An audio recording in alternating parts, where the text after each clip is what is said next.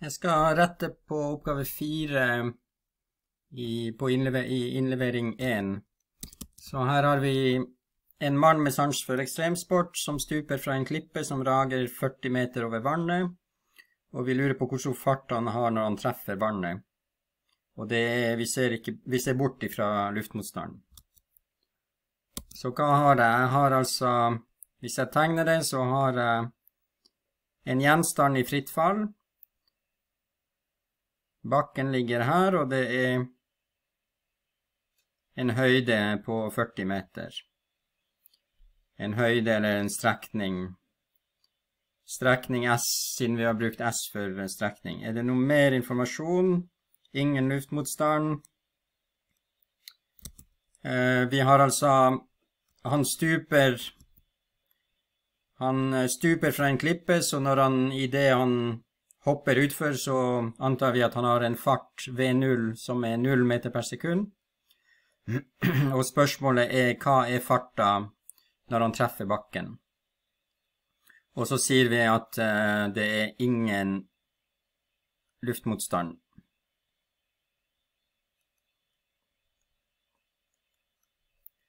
Mot luftmotstand, sånn.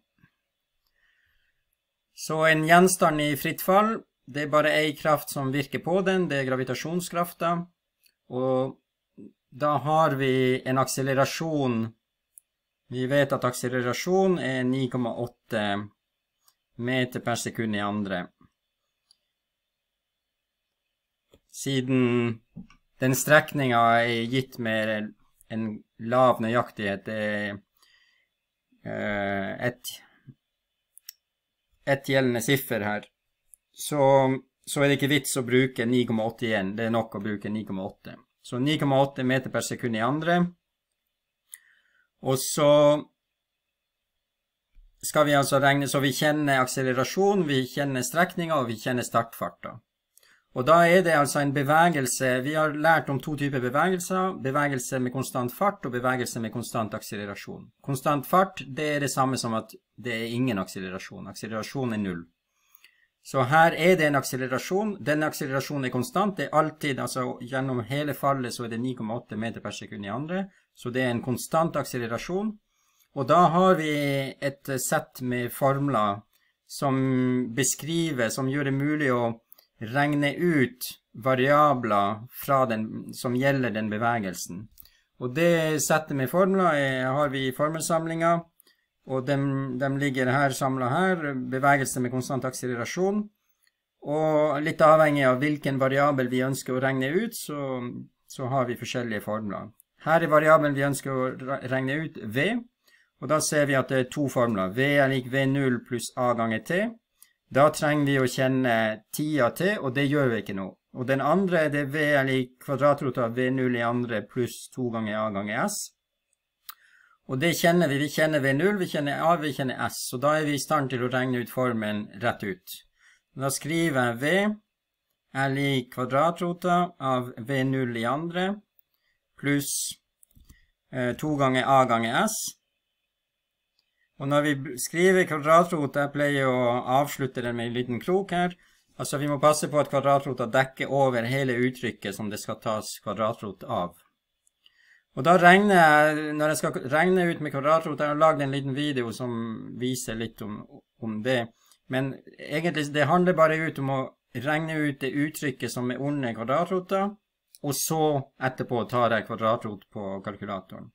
Så her er, blir det kvadratrot av Altså V0 i andre, det er 0 i andre, og 0 i andre, det er 0. Så det blir 0 pluss 2 ganger 9,8 ganger 40. Så her må jeg, må jeg ta kvadratrotet litt, lenger bort. Og det blir kan ta det på kalkulator.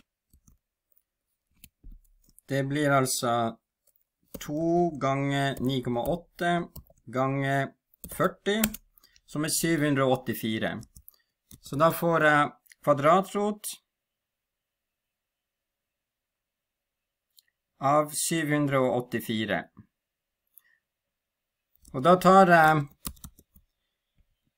For å regne det ut, så tar jeg altså Jeg har først regna ut det som var ordentlig kvadratrota, 784, og så tar jeg kvadratrottegnet på kalkulatoren. Og her kommer det kvadratrottegnet med en liten to oppe til venstre, men det, det, det, er, det, er, det som er den vanlige kvadratrota. Det finnes, eller den vanlige rota som er kvadratrot. Det fins andre typer røtter, da. Og kvadrat, kvadratrot av x, og x er da det tallet dere har i kalkulatoren, som dere har skrevet på forhånd, regna ut på forhånd.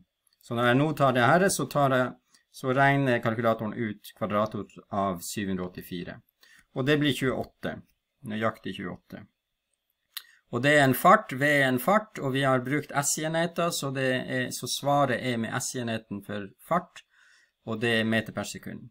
Så her har jeg altså hastigheten når han treffer den. og 28 meter per sekund, ca. 30 meter per sekund, ganger 3, det blir 90 90, litt mer, så ca. 100 km i timen. Så 40 meter, hvis han hopper fra 40 meter, og vi ser bort fra luftmotstand, så vil han treffe vannet med en fart på 100 km i timen. Og det akkurat det jeg gjorde nå, det å kontrollere at svaret gir mening, det er viktig å gjøre på, på slutten av oppgaven. At dere reflekterer over svaret, hva betyr det egentlig? Og da vil dere kunne eventuelt plukke opp feil og kommentere, altså enten finne hva, ut, ut, hva feilen er, eller bare kommentere på at det der eh, Jeg, jeg vet ikke hvorfor, men det vil, altså jeg vet ikke hvorfor jeg gjorde en feil, eller hvor jeg gjorde en feil, men det tallet her virker ikke sannsynlig. Nå, vi, nå blir jo 100, altså Siden vi har sett bort ifra luftmotstanden, så får vi et tall som er større enn hva som vil være i virkeligheten. Men at han har en høy fart når han treffer vannet etter et fall på 40 meter, og gjerne 50 i timen f.eks., det er ingen tvil om. Og da at det blir litt høyere pga. mindre luftmotstand, litt høyere enn hva, hva som er sannsynlig, det, det er innafor det, det som virker rimelig.